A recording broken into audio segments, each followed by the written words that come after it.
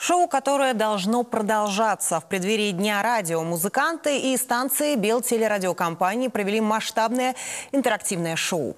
Музыкальная площадка такого формата развернулась в первом национальном торговом доме. Ведущие пяти радиостанций творческие коллективы нашей компании сделали концерт для посетителей. В настроение праздника окунулась и наша съемочная группа. Репортаж Владимира Королева.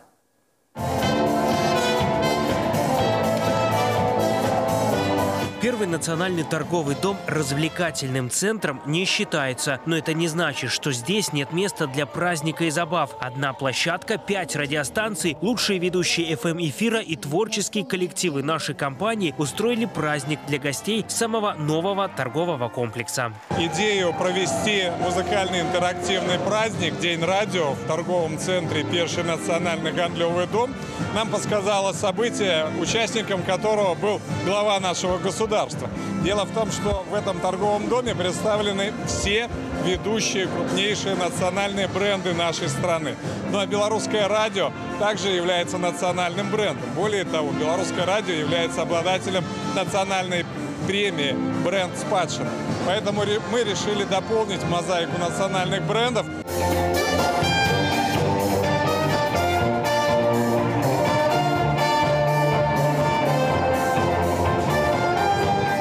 Мировых хитов и саундтреков до народных песен и белорусских премьер. Такая программа не оставила разношерстную музыкальную аудиторию равнодушной. Шопинг и развлечения в одном месте – это критерий современного мола. Так повышается привлекательность не только для покупок, но и для полноценного досуга. Мы свои сердца, настроение, новые песни открываем для зрителя, будь то большая сцена Дворца Республики, либо вот это прекрасное место, импровизированная площадка, но полна настроения, эмоций и только вот самых-самых лучших покупателей происходит взаимообмен энергии, настроения. И когда мы видим вот эти открытые сердца, горящие глаза, улыбки зрителя, это, безусловно, вдохновляет артиста на новое и новое свершение.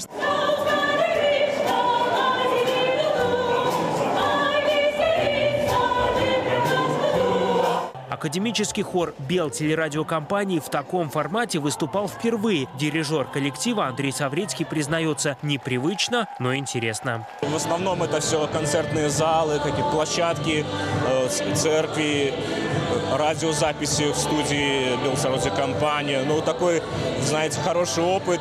И здесь э, больше чувствуется вот такой непосредственно э, вот эта энергетика публики напрямую. Менее академично, но в то же время очень живо. С точки зрения хорового исполнителя это сложно, потому что здесь нет такой э, естественной акустики. Э, приходится подзвучиваться.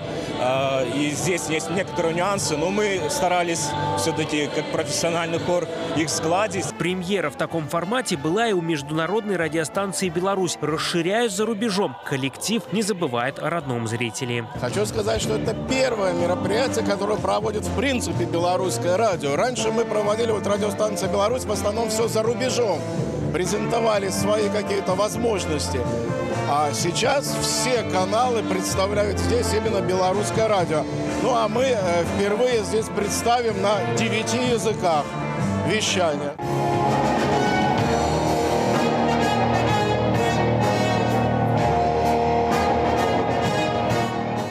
Ребенок у меня просто в восторге, просто тянется, слушает, очень нравится. А что тебе больше всего понравилось?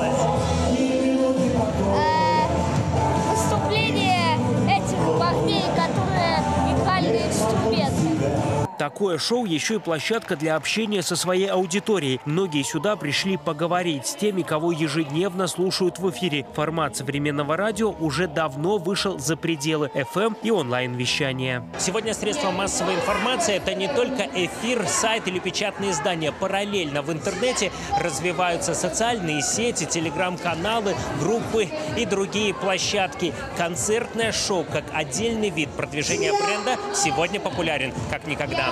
Ну, мы сразу несколько задач выполняем. Во-первых, мы развлекаем людей, которые пришли сюда в недавно открывшийся торговый центр. Здесь до- довольно много посетителей. Здесь первый раз. Очень симпатичное место, и каждому рекомендую здесь побывать. Во-вторых, конечно, э, продвижение наших радиостанций, наших творческих коллективов. А Если кто-то не знает, что Бел телерадиокомпания объединяет не только телеканалы, радиостанции и интернет-порталы, но у нас есть несколько, сразу несколько творческих коллективов, и хор, симфонический оркестр, ансамбль «Беседа». В общем, нам э, есть что показать людям, и это новая практика, которую мы будем обязательно продолжать.